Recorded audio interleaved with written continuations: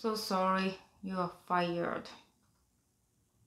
こんにちは。クルーズ客船で働くエリです。え今回は、えーこれをやってしまったら速攻クビというクルーズ客船のクルーとしてやってはいけないこと5選をご紹介します。えまず最初に日本のクルーズ客船のクルーと海外のクルーズ客船のクルーは、え結構違うところが多いのでこれは海外のクルーズ客船の、えクルーの場合だと思ってください、えまず雇用形態が海外のクルーズ客船の場合はほぼ100%と言っていいほど、え contract まあ契約社員みたいな感じになりますね。でこの契約は1年ごと2年ごとっていう風に結んでいくんではなくて contract ごとうん、船に乗船するたびにっていう形なんですね。なのであなたの contract が、まあ、4ヶ月だったら乗船してから4ヶ月働いてその contract が終わる時にえ次の契約更新しますかっていう形になります。まあこれが基本的なえ海外の雇用形態なんですけれども正社員ではないということで本当にね、えちょっとしたこと、まあ、まあ船の上ではちょっとしたことではないんですけれども結構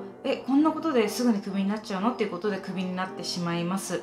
なので、えクルーズ客船でやっとか働けた嬉しい仕事ゲットできたって言って思っていても、えこういうことを知っておかないと、えいきなりね次の日に「はいあなたクビです」ってその瞬間になってしまう可能性もあるので、え今回はそちらをご紹介していきたいと思います。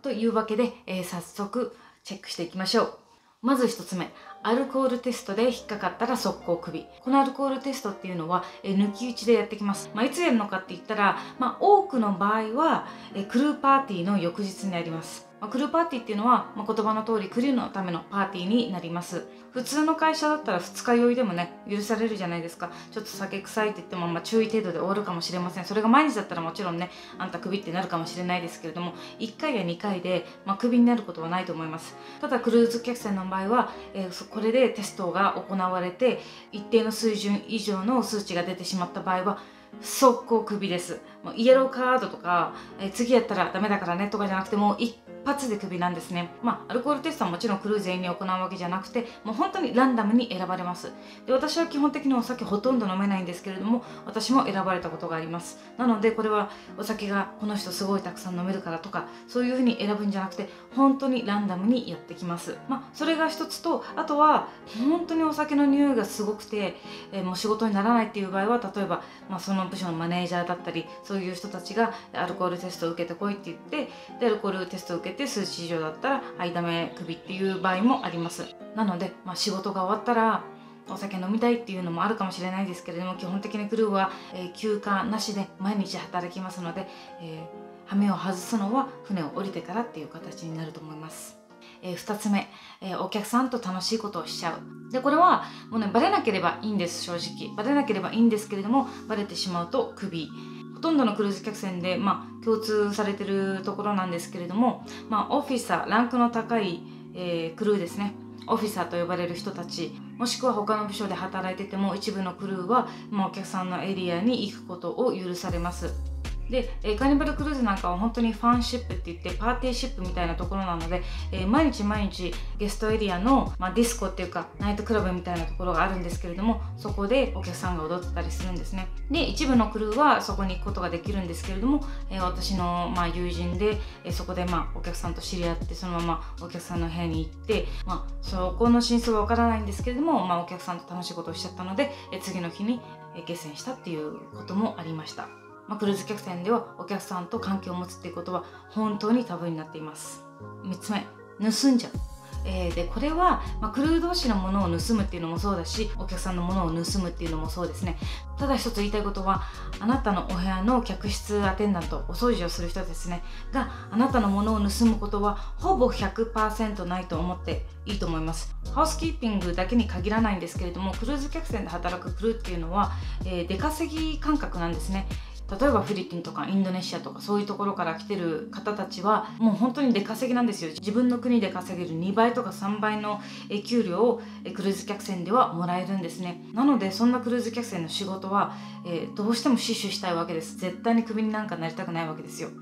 送金してますからね。お金を。家族とかに。えじゃあこの盗んじゃうっていうのはどういう場合があるかっていうと例えば忘れ物がありました。で高価なものでした。それを届けないで、え自分でもらってしまったとかね。船の上で見つかったもの。そういうのがまあなんやかんやでバレてしまうともちろんクビになってしまいますあとは落とし物とかは全てフロントデスクに行くんですけれどもそのフロントデスクが、えクルーズが終わったら全て、まあ、レポートにして、えオフィスに送るっていう行為をするんですが、まあ、高価なものをフロントデスクの人が盗んでしまったら、えそれもクビの対象になります。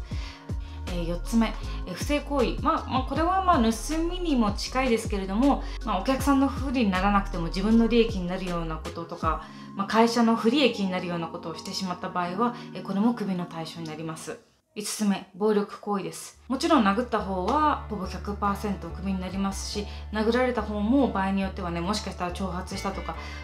もしかしたら殴られた方が挑発した可能性もあるのでえその人も一緒にクビになる場合があります。もしもね会社だったらもうもしかしたら謹慎処分とかあるかもしれないですけれどもえクルーズ客船の場合は、まあ、謹慎とかじゃなくてもう速攻一発でクビです。まあセキュリティの人とか上の上司とかに見つからないでその2人でね2人の間で悪かったねって言って収まれば、えーまあ、クビにまではならないかもしれないですけれども、えー、もしも、えー、知れ渡ってしまったら首、まあ、要はバレたらクビなんですよね。まあそれはどこでも一緒かもしれないですけれども。バレなければ OK なんです。ただバレたらダメ。まあ、今回はこの5つを紹介したんですけれどもえもちろんイエローカードっていうのもあって、まあ、例えば、えー、船っていうのは、まあ、もちろん、え寄港地に行ってえー、乗船時刻があってそれで出港時刻があるわけなんですけれども基本的に、え、クルーの乗船時刻はお客さんの乗船時刻よりも30分から1時間ぐらい早い早いんですね、えー、ただその時にクルーが、えー、遅れてしまう。そのクルーの最終乗船時刻に遅れてしまうとイエローカードになります。でこれを多分2回か3回ぐらいやるとレッドカードになってこの場合もクビになりますね。まあ1回やったらかなり気をつけるのでそれを何回もやってクビになったっていう人は今まで見たことないですけれども私も1回もらいました。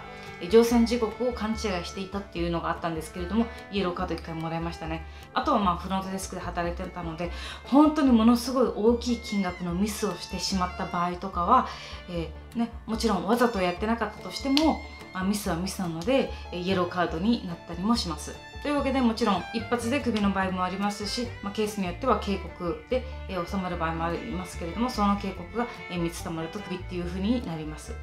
冒頭にも話したようにクルーズ客船のクルーは、えー、正社員ではなくて、 contract を結ぶっていう形なので、首を切られやすい簡単に首を切られてしまうのでクルーズ客船で働きたいなと思っている人は、ちょっと気をつけて覚えておいていただけるといいかなと思います。というわけで、えー、私のクルーズトラベルのチャンネルではクルーズ客船のクルーのお話だったりお客様のためのクルーズ客船のお話海外旅行のお話なども、えー、していますのでいいねと思ったらいいねとチャンネル登録もしていただけるともっと頑張ろうと思うので、えー、サポートの方よろしくお願いします。というわけでまた次回。チャオ。